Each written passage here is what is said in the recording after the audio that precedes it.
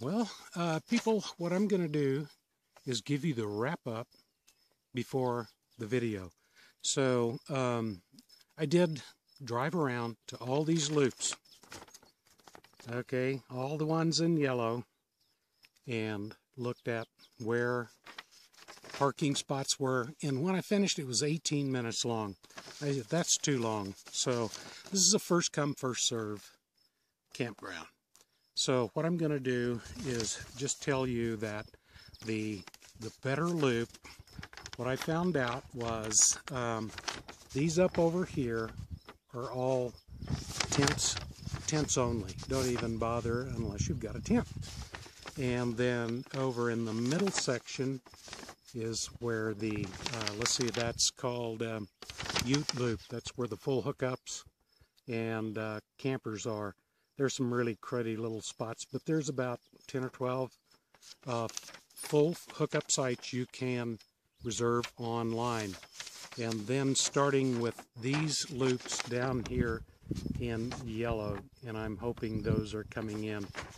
Um, going to tell you that I think the Apache Loop, which is the last one on here, the as you're coming in the campground, has really got a big variety of different campsites, different lengths, shorter. They're fairly, uh, all of them are fairly even. You're not going to have to do a lot of blocking. So basically it's going to be drive through. Now, the Apache Loop, like I said, I think that's probably the better one. Um, up the uh, Walpi Loop, right down here by the bathrooms. Uh, you can see we're parked right there and the bathroom is right down there. There's some big sites right down there when you first come in. Um, there's fifth wheels and class A's in there. So this accommodates all sizes of rigs. And don't worry about if you pull in and you're blocking the road, just unhook. You can pull your truck off usually to the side on any of these. So $15.59 a day is what it cost us here. Now we have the uh, senior pass, the annual senior pass. So if you're 65 and over, I'm not sure if it's still that age. Uh, it's a one one-time fee, uh, good for the rest of our life, um, for getting in, uh, getting discounts on national parks, and your entry into national parks. That usually 30 bucks a car, 27 a car, whatever. Um, that goes away. Now we have a Colorado State Park Pass, which this is a Colorado State Park, and normally you'd have to pay like $7 a day fee coming in every day. So if we, we were here three nights, we'd have had to pay another $21. So we have a annual uh, state park pass for Colorado that um, has already paid for itself uh, within a year and uh, that's the way to go if you can. Now there's a 14 day limit here and I can see why because um, we could easily just unhitch, go up there and dump, get some water and come back down again and uh, boy it's gorgeous here. It is really nice. So I'll put in a few clips. Um, let me pause a second for the wind. Well the wind blew me completely away. I'm in a different spot now. The end of that video didn't take. So um, what I'm going to do is put in a few clips of driving through the campground, um, some of the better ones. Uh, I'll try to make them short. And then uh, some clips of Mesa Verde National Park, Mesa Verde National Monument, whatever.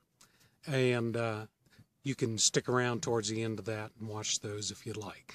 So uh, we have obviously moved on from Mesa Verde and we're in another campground. So that review will come fairly quickly. And uh, I hope you guys get out there. This is a nice view too. And stay safe.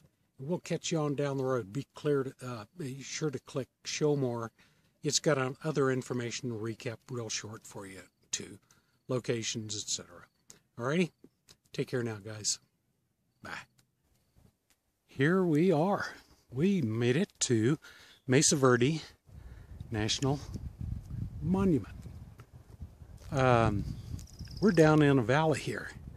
This is Morefield Dry Camping in this area. Uh, they do have full hookup somewhere, but they were full when I checked online. So this this is one of the circles. There's quite a few circles with many spots, but a lot of them are, are pretty small. So I'll go around and see if I can find some better ones for you. Uh, there was a loop right there. I didn't go down that one. Oh, yes, I did. Didn't really like uh, the level, and I pulled on around the corner here into, um, I think it's Apache Road, and found one right here. Now, why would I pick one right here, close to a bathroom and dumpster? That's because there's Wi-Fi right up there on top of that building. The further away you get, the worse it is, and there is no cell service down in here. So that's why I did it. We can, uh, the cell service is just going to be non-existent. Uh, most of these are back ends, like you see. Right here is a pull through, but boy, I like this. We're down in a valley. We're completely surrounded by hills. A steep drive up, but very easy. 35 miles an hour all the way. Your your camper will do it. Um, if it was snowing, different story. So I just pulled off the side of the road here. When I backed in, I didn't have to level left or right. This is very level right here. All I had to do is just level right here in front with the uh, the, uh, the jack to get straight up and down. And uh, things are just starting to green up here in Colorado. So we'll take a look around the park and see what all's here. I think most of it's going to be the Mesa Verde uh, Museum and the uh, cliff dwellings, that kind of stuff.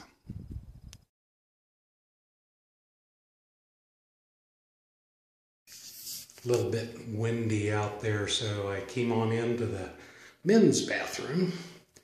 Yeah, we got us a one holer and faucet.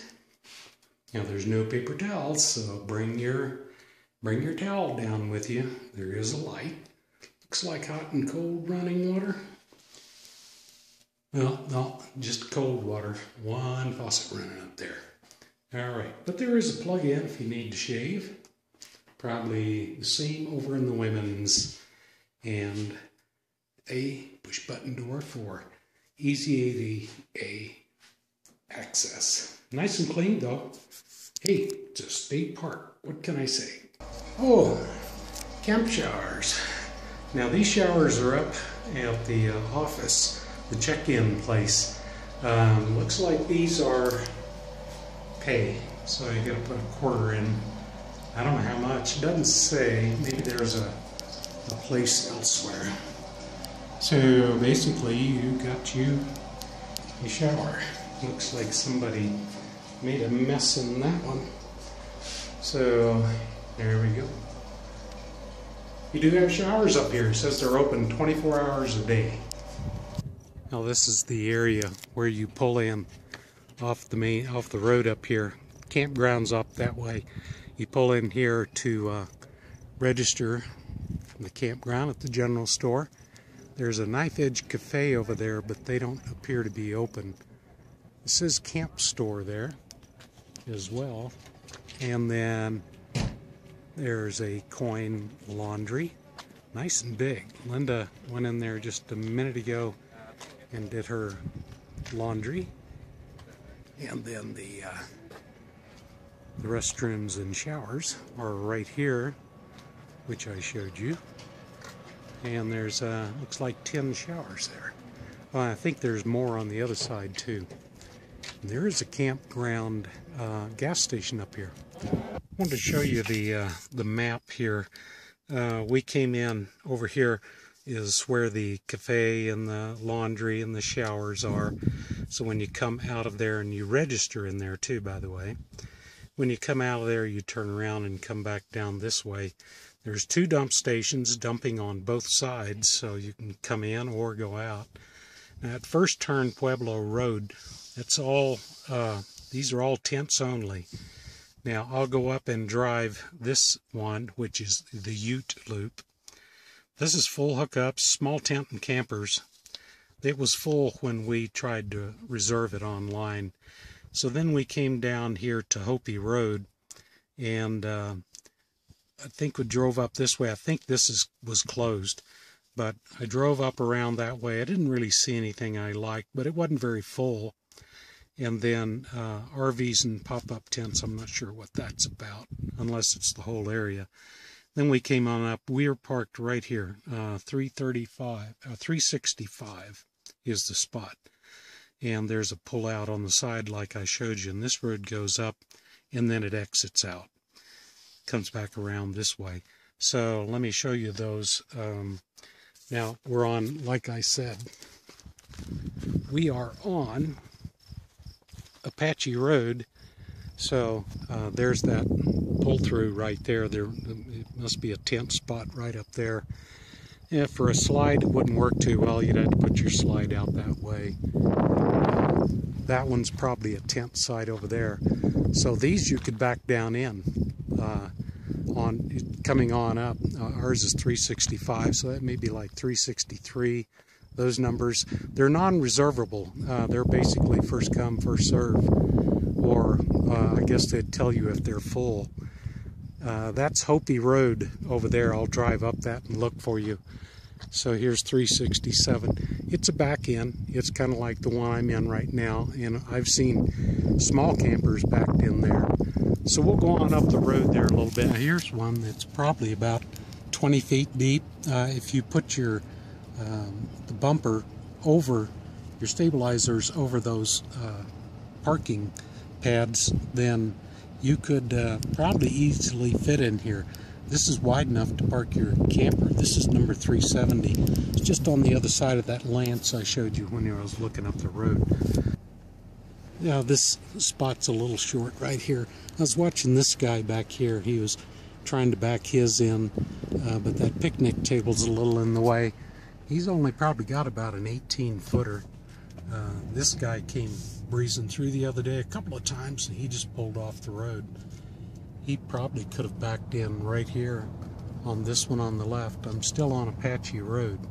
So it, it's fair. I mean, you consider you want to back your tires up to those those uh, concrete blocks. Um, not all that bad here.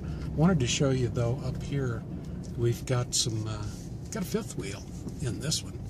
So this is at the top of the turnaround here on Apache Road. So these are a little bit longer right here. That's probably a 25 foot. Um, just a little spot right there for a short, a shorter camper. Not bad right here on this one. That could fit. I mean, you know, you're going to have to pull your truck out, but there is a bathroom up here. Okay, that's Hopi Road right there. I just took that right turn right over there just to see what it was like. So you're going to make a left when you come in. So I'm going to go right on up.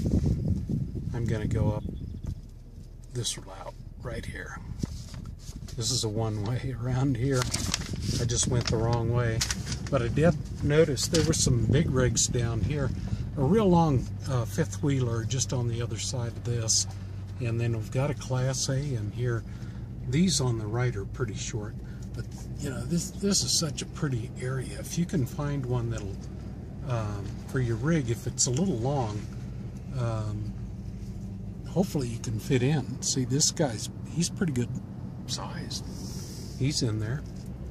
That avalanche got in and there was a big fifth wheeler in this one the other day. He was parked not that way, but lengthwise.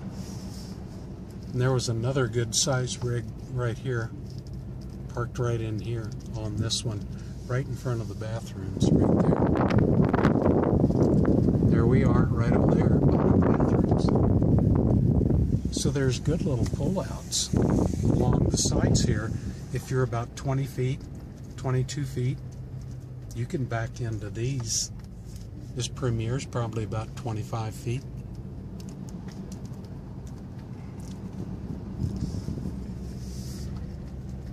they get a little shorter on up the hill, especially on the left side. You've got more angles to it. So this is the uh, Hano loop.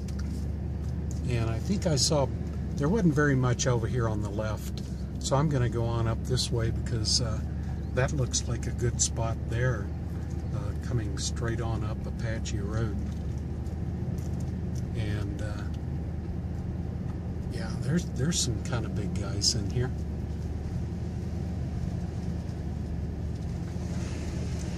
There's an A-frame.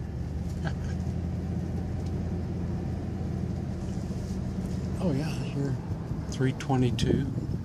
Nice back in for a 20 footer for a little more. And then this side on the side here. That's not bad. Oh yeah. So these are reservable online, I'm sure. It's 149 on the left and 151. So these are these are definitely bigger rigs here on the left. The right side does have pull-ins, but they look like they're going to be small small units. And I don't see any on water and electric on those. These on the left do have water, electric, and sewer. So there's some uh, there's some good sized rigs in here. Yeah, you see water, electric, and I saw sewer on one, unless he didn't bother hooking up. Yeah, they've got water, electric, and sewer. I thought I'd come up here and show you what the amphitheater looks like. There's a lot of parking up here, and then the amphitheater is just right over here, right over that way. I'm going to walk up there and just show you what it looks like. But boy, this is uh, this is a pretty area. There's a huge, huge parking lot up here. And the amphitheater. Looks like that guy's going to take his bike on down. Must be a, a path down there. So this is uh, really nice with the background here. Looks like they are doing some repair, repainting. And there's a projector. Very nice.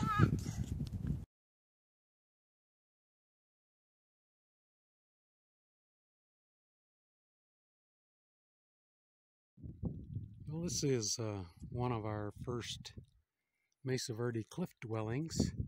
This is Nordenskiöld number 16 right over in the face. Oh, this is a gorgeous area. Man, we have seen so many canyons around here.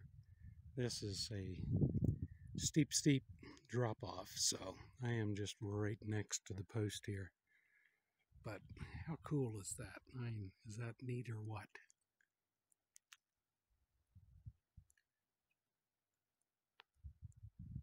I hope that's coming in. Well, this is one of the first uh, homes that we came to, dug out of a earth pit here. If you want to read this, just pause it. Um, this is uh, really well preserved.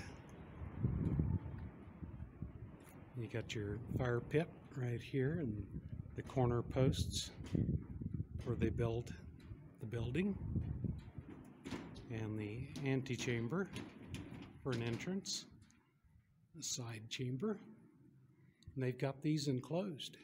Now, this one is a Pueblo here. So this is really kind of interesting if you want to pause that and read it.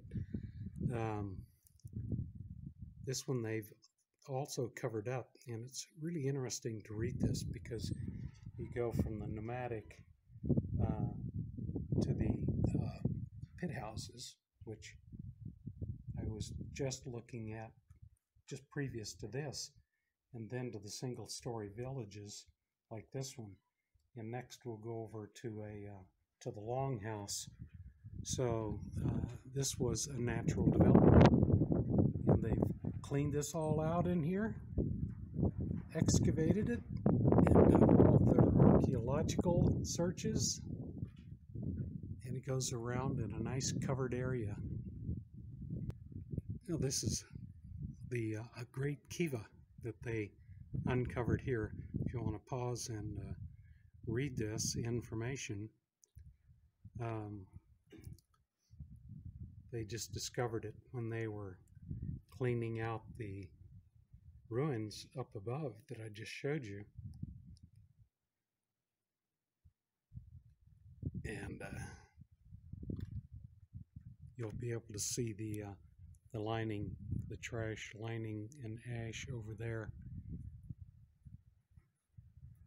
Really remarkable.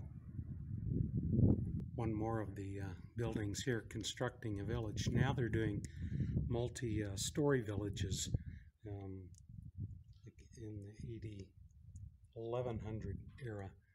So again, you can pause if you'd like to read this information.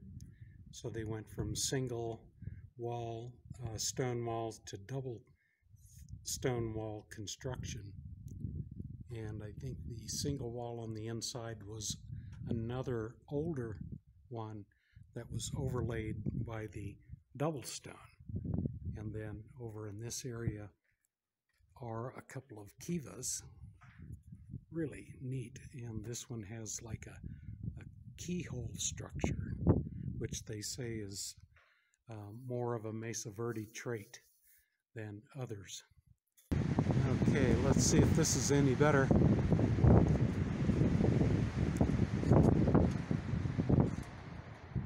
Awesome. Wow. And it is windy as heck up here. Holy mackerel. A little bit better view here of the uh, spruce treehouse.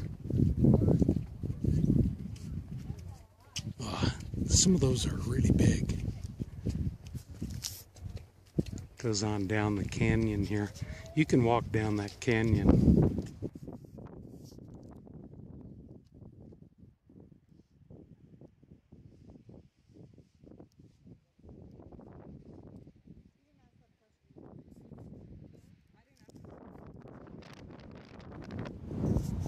This area has quite a few different um, structures here in homes mummies. And there's a, a uh, sun temple up there.